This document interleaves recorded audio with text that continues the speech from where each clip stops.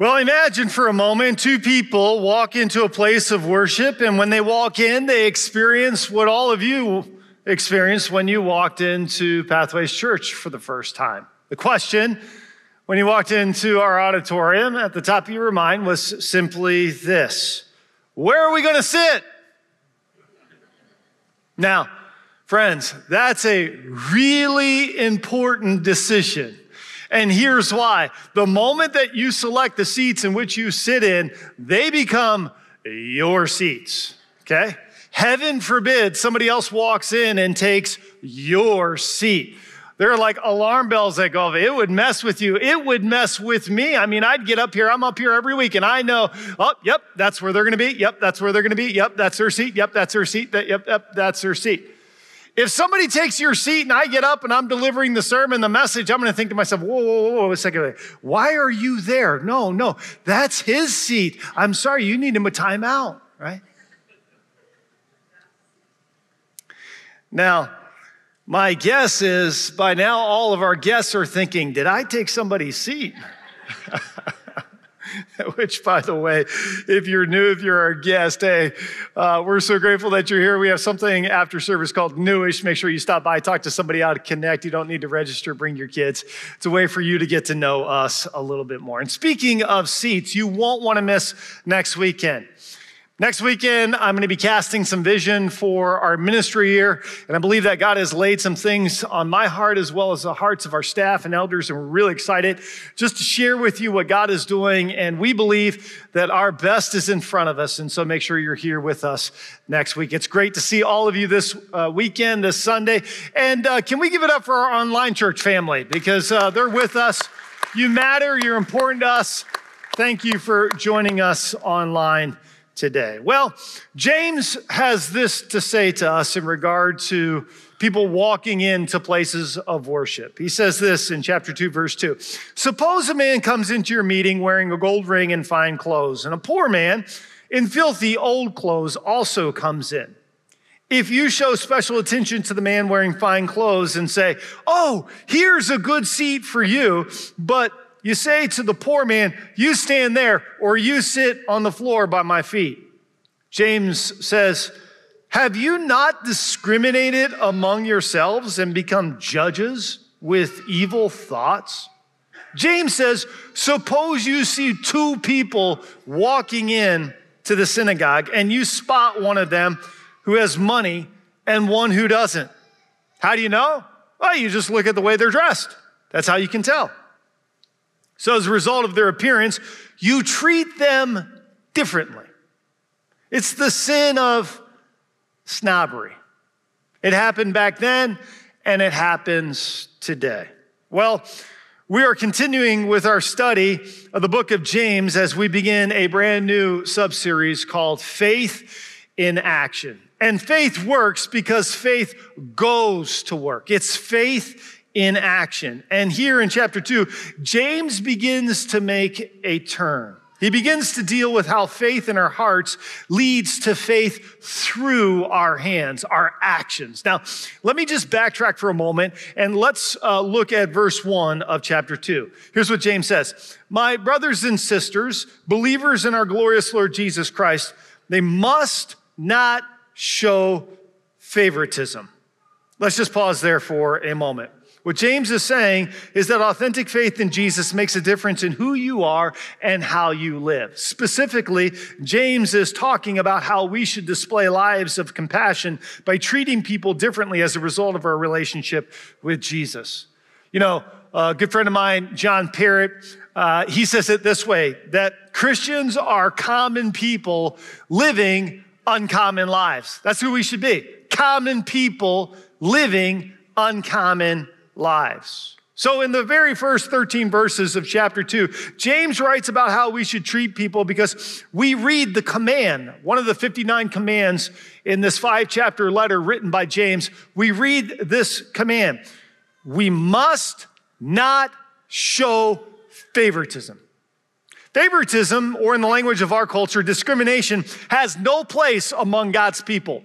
Favoritism, partiality, discrimination, unacceptable. Let it not be found at Pathways Church. Amen?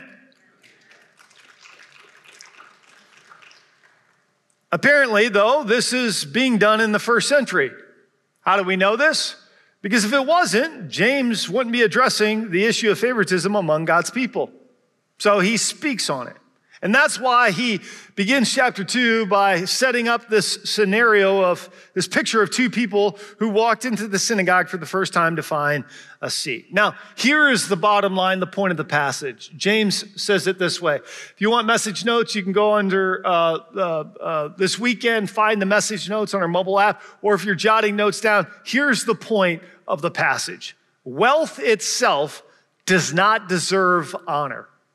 Wealth itself does not deserve honor. Now, why does this need to be stated? Well, because so often this is what happens, doesn't it?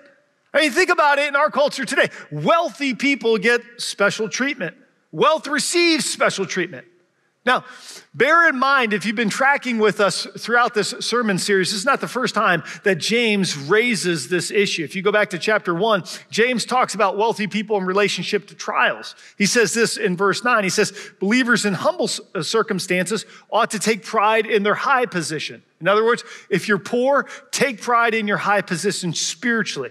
But the rich should take pride in their humiliation since they will pass away like a wildflower. Translation, listen, don't keep track so closely of your bank account when trials come because money has a way of disappearing. Now, let's consider the context as James needs to hit this theme of wealth again. Contextually, here's what's taking place. If you remember, his listeners are a group of Jewish people. They're hated by the Jews because they believe that Jesus is the Messiah, while other Jews are still looking for the Messiah. They're given the side eye by the Gentiles because they're Jews. In effect, all they have is just one another in terms of how they're going to make it through this trial. And what's the trial? Persecution. If you remember, they're on the run, they're scattered. They left Jerusalem. They had to pack all their bags, their businesses are closed down, they're taking their families, and they're trying to figure this out. Simply put, these believers are in need, in financial need. So, someone who is wealthy walks into their place of worship. What's the temptation that's going to be running through the minds of these believers? Yeah, they're, they're going to be thinking, how can we give a good experience to this wealthy individual? Because if they have a great experience here at the synagogue, they're going to what? They're going to return. And if they return, the temptation would be man, they would potentially share their wealth with us. It's a very real temptation. Well, if a poor person walks in, we already got a room full of poor people here. You go stand there, sit there. We don't really care about you. That's kind of the context of what's taking place among the listeners of the day. And, and, to understand this at an even deeper level, from a socioeconomic status, I was reading one commentator and it said that there were about 8% who were wealthy during the first century. So there was about 90% who were poor. So assuming that the vast majority of the listeners of James' letter, they were poor, and there was only about 2% that could kind of climb the social ladder, if you will. So, by and large, once you were in a, a particular uh, socioeconomic demographic, you were in that, in that class, that's where you remain for the rest of your life. There's a very real temptation to show favoritism or to discriminate against those who were either wealthy or those who were struggling. So, James, as I mentioned, basically lifts up this application and he says, Wealth itself does not deserve honor. That's what James is saying. But let me tell you what James is not saying, okay? This is very important. James is not saying treat everyone the same. He's not saying that since everyone is equal in the eyes of God, everyone deserves equal treatment. That's not what James is saying. Now, for some of you right now, I just said that and you're thinking, really? Chapter and verse on that, Adam? Let's talk about that. Okay, let's talk about it. Let me give you a couple examples. Over the holidays, I was back home in Harrisburg, Pennsylvania, and I was spending some time with my parents. My daughters came out for a couple days, and uh, we went to a particular restaurant. My favorite restaurant is where I had my first job. It was called Peachtree. Peachtree, how many of you like pancakes? Anybody like pancakes in the room? Oh man, me too, pancakes. Listen, uh, Peachtree pancakes are the best pancakes your lips will ever touch, hands down. I don't know what they put in them, but they're amazing. And I don't care if it's a Tuesday morning or a Friday morning or a Saturday morning, the line is typically like there is a long wait because breakfast is amazing at Peachtree. And so, anyways, we were there one particular day, and the girls were with me, and and uh, the line was we were in the in the waiting area, and we were seated there, and there was an elderly couple that came walking in, a husband and a wife, and there were no seats available. So, men, what did I do? I stood up. I gave my seat to the elderly woman. Why? Because that was the kind action to do. That was the respectful thing to do. In a very small way, that's faith in action. It's showing value and it's showing preferential treatment to the elderly woman. Now, if that were an 18 year old boy that came walking into the restaurant, I'm not getting up. In fact, I'm keeping an eye on him, making sure that he's not looking at my daughters. or we're going to have an issue. Okay? We've all been to airports, sitting at the gate, and we hear the attendant say, we're going to start boarding. If you're a parent of a young child, welcome aboard. And oftentimes they'll follow it up and they'll say, and if you are a uniformed military uh, personnel, you may board at this time as well. Which, by the way, for all of our military people, thank you so much. Thank you so much for serving our nation. Thank you. Thank you for protecting our freedoms. Thank you. So, what are we saying? Because of your circumstances, if you're elderly, if you're a parent of a young child, if uh, you, you serve in military, listen, we want to give you preference. And none of us, we don't have a problem with this, right? In fact, if you're looking for chapter and verse on this, you can look at the very last verse in James chapter 1, the one that precedes what we're just talking about today. Because James talks about preferential treatment. Here's what he says in verse 27, he says, Religion that God our Father accepts. The brand of religion that the Heavenly Father accepts is one that shows preferential treatment to who? To widows and orphans, or orphans and widows in their time of distress, and to keep one oneself from being polluted by the world. That's why we as a church, we fund and we, we serve at Pillars. Pillars is one of our ministry partners here in the Fox Valley. And if you've never served a meal to a single mom and her children, it's a humbling experience, friends. Let me tell you, it's faith in action. In fact, if you have never been a part of that, I would encourage you. You find some of your people, your small groups, some friends here at Pathways, your family, parents. If you want to engage your kids in a faith that grows, a faith that works, take some of your teenagers with all their devices and all the things that they have and take them down to pillars and rustle a meal together and say, you don't even have to say anything. Let them see what struggle really looks like. Listen, when we do that as a church family, not only are we showing preferential treatment in a way that honors God, but we're also growing our faith. We're becoming doers of the word. It's faith in action. And listen, I'm all about biblical truth. I'm all about uh, gaining resources and laying a foundation, scripture memorization and chair time. I'm all about that. That's a big deal for me. But what James is saying is that faith in action is the proof of what you believe because you can have a full head of facts and an empty pair of hands, not serving, not loving, not engaging. And friends, can I just tell you that the, there's no such thing as a non serving Christian. That's an oxymoron. It doesn't exist when you look at the book of James and the bigger book called the Bible. Your behavior is proof of your belief. You can't just say, hey, I really, be- oh yeah, I'm, all, I'm a Godfather, I believe in Jesus, but you don't do anything about that. You're not engaging. The question that James would ask you, and I would support him, would be simply this Is your faith even true? Is it really valid? At one part in the book of James, James says it this way even the demons believe. Big deal. You believe. Who cares? Let's talk about faith in action. This is where James is going. He's talking about how we treat individuals. Now, as I already mentioned, the point of the passage is simply this James is saying that wealth itself does not deserve honor. To drive this point home, if you drop down in the next section, James, here's what he's going to do. He's going to offer up three rhetorical questions that are going to really bring to light the hypocrisy of his audience. He's going to show them that, you know what, your actions and how you treat wealthy people, I'm telling you, you're so hypocritical, it's mind blowing. Okay? This is what he says in verse 5. Here are the three rhetorical questions. Question number one He says, Listen, my brothers and sisters, has not God chosen those who are poor in the eyes of the world to be rich in faith and inherit the kingdom he promised those who love him? Let me paraphrase.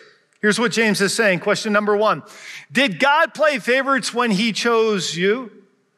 The obvious answer no. If God played favorites, what James is saying is, you, my brothers and sisters, you wouldn't have been included.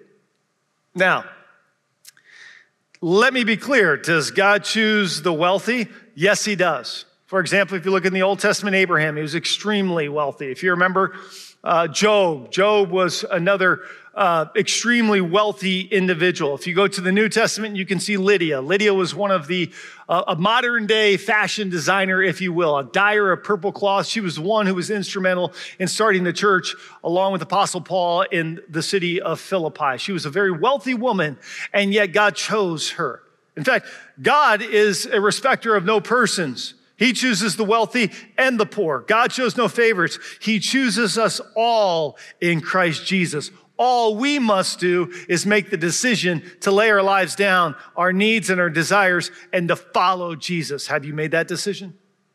That's the greatest decision you'll make with your entire life to follow Jesus. Okay, here's the second rhetorical question. Verse 6, James says, But you have dishonored the poor. Is it not the rich who are exploiting you? Are they not the ones who are dragging you into court? In other words, James is saying the second rhetorical question do not the wealthy use their wealth against you? Just like today, who can afford attorneys? Wealthy people. And what James is saying to his audience is simply this it enrages you as poor people when the wealthy drag you into court and take advantage of you.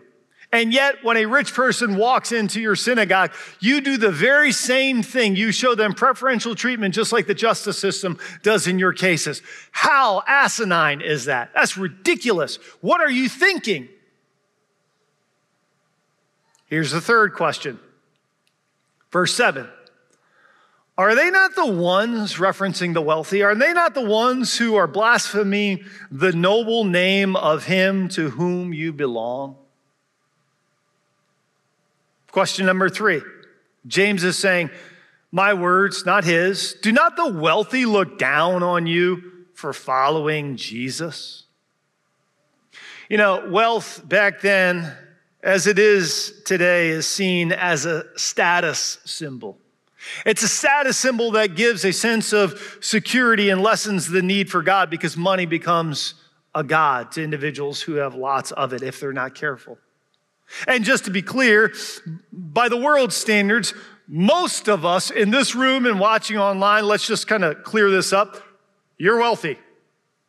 Out of the 7 billion people in our world today, half of the individuals live on less than $2 a day. By American standards, the Department of Health cited that really the poverty line that we will talk about in politics, really, that is a family of four who makes less than $30,000 a year. For most of us, we make more than that. We're not poor. People from other countries they would die for the opportunities that we get here in the United States of America. And if we're not careful, we can have the attitude that I'm better than you.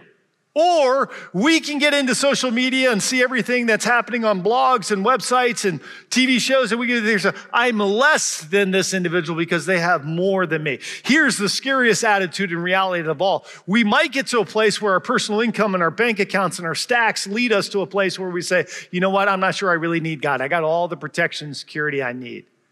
Friends, that's dangerous. If that's you today, please listen to me.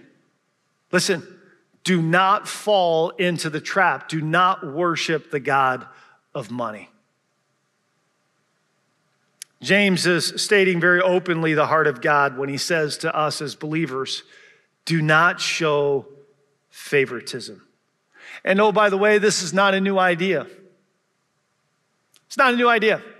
God's been talking about this idea of not showing favoritism or partiality. In fact, that was his very character. Back in the Old Testament, he had designed his nation, the children of Israel, that when they would make their fields, when they would uh, farm, they would always leave the outer edges for those foreigners who would pass by. Why? Because he wanted them to be cared for as well.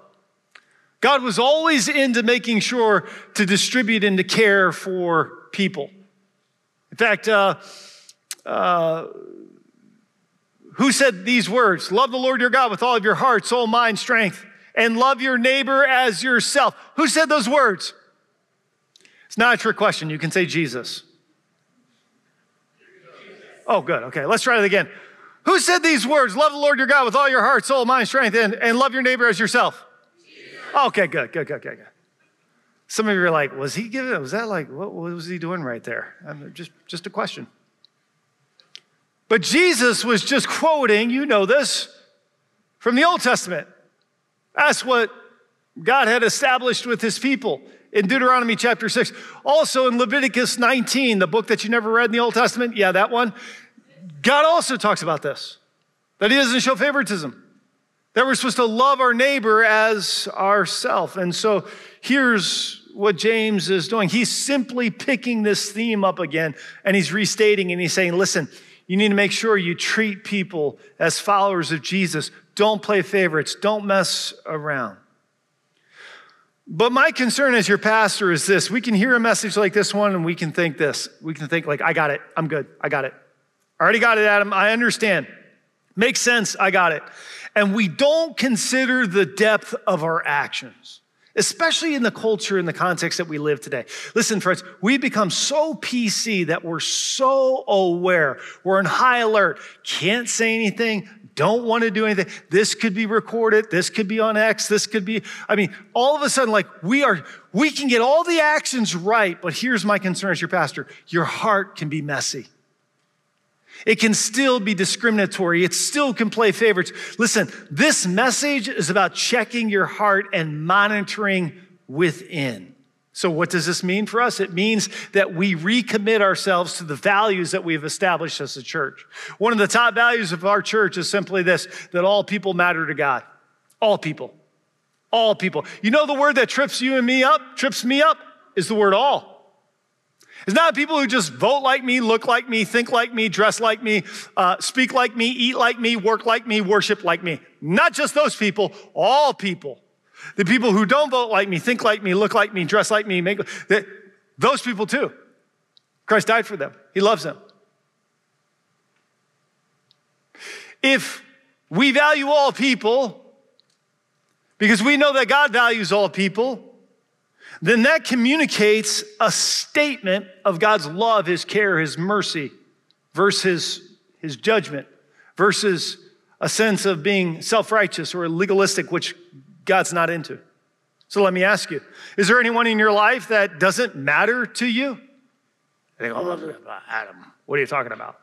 Yeah, like a, a group of people that when you see them, you don't, based on some external thing, you don't really you're not sure if you like them. Well, no, Adam, I love every. Let me ask you do you pray for that group? Oh, come on now, Adam. Now you're in my business. Yep, I am. Because I think that's what James would say. He'd say, let's make sure that we're treating people with respect and dignity, even when we disagree with them, Even when we don't understand what's going on. Why? Because they were created in the image of God. Or maybe let's get a little bit more personal. It's not necessarily a group of people, it's someone who's close to you. They've hurt you so much. You're so angry and resentful. You've built up walls inside of them that if you were honest, you would say, you know what? They don't matter. In fact, I prayed for them, but if you heard some of my prayers at them, wouldn't be good. James is saying, he's asking this question who doesn't matter to you. Whoever that is, you got work to do. Second question, application for us as we go through this week is simply this How are you treating people these days? I had two experiences this week where I was convicted by the Holy Spirit. Now, let me be very clear on something. The Holy Spirit doesn't condemn us. He doesn't bring things to our attention to push us down and to distance us from God. He brings things to our attention so that we can make changes in cooperation with Him so we become more Christ like. Had two experiences this week where inside, didn't do anything externally to mistreat people, but inside, I just didn't like some things that I saw. And I thought to myself, here I'm preaching this message, and there was a group of people who were just, just irking me. And I thought, I, I can remember I was at a, I was at a, a a restaurant, a little fast food place, and I was filling my cup up with diet root beer, and I thought, Adam, Adam. And I literally said, you know, I'm to walk back to my table and I'm going to have a better attitude about this group of people because it's just not right. That's not right. I'm not treating them the right way. I need to smile. And so I smiled. In fact, somebody looked at me like, you're not one of us. And I was just like, no, I, I didn't do that. I wasn't weird, but I did smile. You know what? That was good for my heart. You can say, Adam, oh, that's such a small thing. That small thing can be a big thing real quick. So, how are you treating people these days? In the words of Jesus, he said, By this, people will know you're my disciples, by the way you love one another. Are you more loving? Would people characterize you as one of the most loving people they know, merciful, grace giving? You know, when people think about our church and think about people of Pathways, they say, those people are merciful. They love well, they do it right. James puts it this way if you drop down the last part of this section of scripture in verse 13, he says, Mercy triumphs over judgment. And remember James, who James is. He's a half brother of Jesus. I can't help but think when he was writing this little letter, he's thinking to himself, man, I remember when my brother gave that sermon called the Sermon on the Mount. I remember when he was up there and he said these words. Here are the words of Jesus Blessed are the merciful, for they will be shown mercy. Isn't it interesting how all of us, when we mess up, we want mercy, but when somebody else messes up, we want to quickly judge them and say, you know what, they don't deserve it. They were too lazy. They didn't prioritize their time. When we miss a deadline, it's because we were over busy. When they miss a deadline, it's because they didn't prioritize well. When, when, when, we break the, when we break the rules, we're innovative.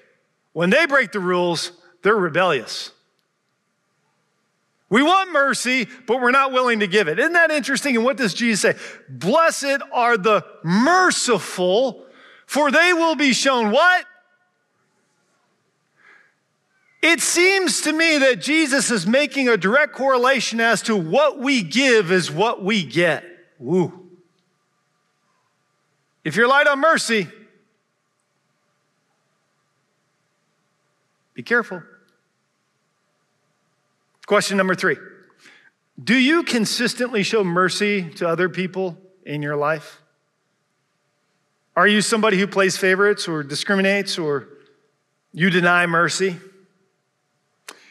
You know, I think these are questions that all of us can consider. I think that this gets us beyond our actions when it comes to a message like this, and it gets us into our hearts. And we say, God, help me. I want to make sure that faith is working in here so that it goes to work out here. Because I want to be the kind of individual, we want to be the kind of community that demonstrates the heart of God in terms of showing people the love and the care and the mercy that we have found in Jesus Christ. Would you bow with me for a word of closing prayer? Heavenly Father, I thank you for today. I thank you for the truth of your word. Now I pray, God, that you would continue to transform us. Help us to monitor our hearts, to look deep within when it comes to this passage in James. God, forgive us of our wrongdoings the attitudes. And Lord, help us to never show favoritism. God, that we would put a stop to that, regardless of how we were raised or some of the cultural norms of our day. Lord, when we try to get pressed into a mold or a, anything that's outside of your word, God, we just want to do your word. So help us. We love you and we pray this in the matchless name of Jesus Christ, our risen Savior. And everyone who agreed this prayer said, Amen.